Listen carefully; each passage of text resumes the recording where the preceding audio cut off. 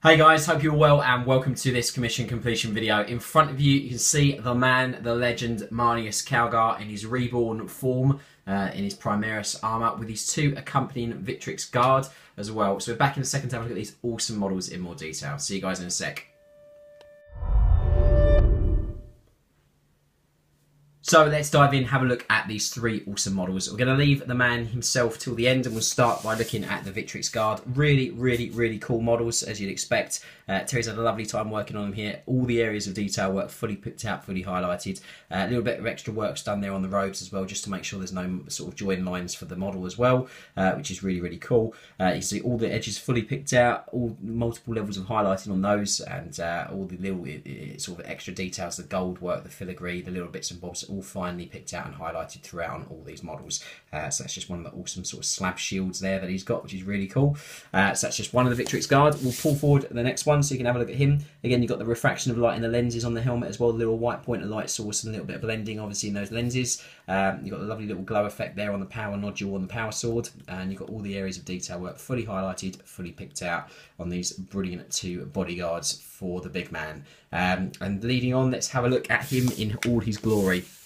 When I first saw the model, I thought it was really, really cool. Uh, he's got loads of extra little details. You can see they've taken a little bit of reference from his previous armors as well, which is really nice. You've got the script there painted on all the purity seals. Uh, all the edges are finely highlighted there, as you can see, with multiple levels of highlighting. Uh, our client has requested a little bit of weathering, so just on the power fist there, you've got a little bit of uh, weathering and scratching and chips all done on those, just to show that he's been uh, using them, not standing at the back.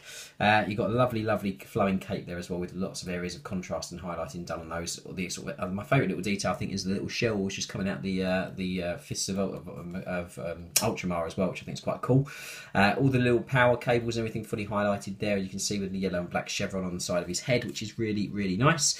Uh, and then obviously it's got this lovely Tyranid dead head on his base that's been had a lot of attention and detail added to it as well. All the chitin and chitin has been uh, highlighted there and skin tones as well, which is really nice. Uh, so that's just the big man himself. I do hope you like him. Again, we do specialise in characters here at Siege, so if you are interested in a character commission, then feel free to get in touch with us. Uh, that's the triarch of awesome models. Do hope you like them. Stick around for the last section to see them in the glory all again and just find out a bit more about how to get a character commission. See you guys in a sec.